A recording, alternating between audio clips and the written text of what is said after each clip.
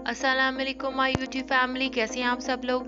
आज जो रेसिपी आपके साथ मैं शेयर करने वाली हूँ, वो है टिंडों की। सबसे पहले उसके लिए हम एक कढ़ाई लेंगे और उसके अंदर हम एक कप के बराबर हम ऑयल डालेंगे। जब ऑयल थोड़ा सा गर्म हो जाएगा तो हम उसके अंदर टू टेबल स्पून लहसुन के डालेंगे।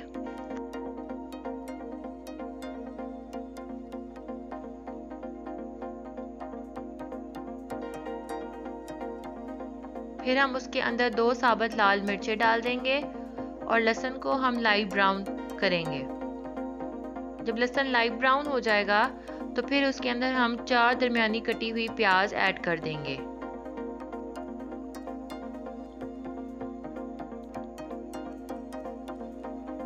और फिर प्याज को हम फ्राई करेंगे, तब तक जब तक कि वो लाइट ब्राउन ना हो जाए।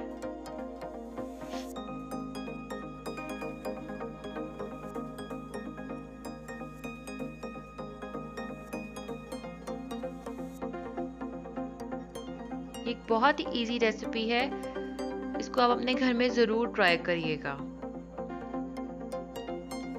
जब प्याज लाइट ब्राउन हो जाएगा तो फिर उसके अंदर हम चार टमाटर मूली कंडा करके उसके अंदर डाल देंगे। आप पेस्ट करके भी टमाटरों का ऐड कर सकते हैं।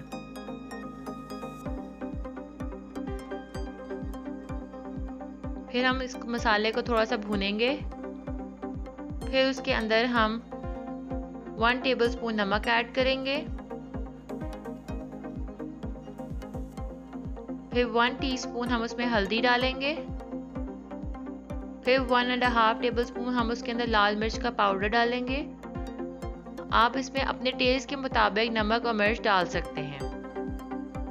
फिर हम मसाले को अच्छी तरह से भूनेंगे और फिर इसमें हम तीन हरी मिर्चें पेस्ट करके ऐड करेंगे। फिर हम मसाले को अच्छी तरह से भूनेंगे।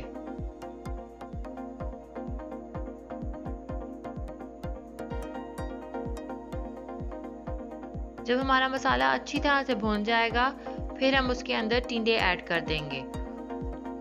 और फिर उसे 10 मिनट्स के लिए हम दम पर रख देंगे।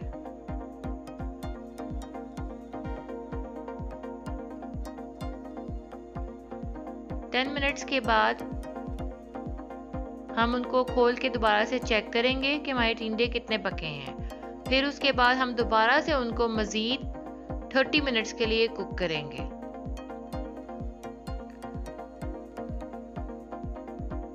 थर्टी मिनट्स के बाद आप देख सकते हैं कि टिंडों की क्या शक्ल निकल के आई है।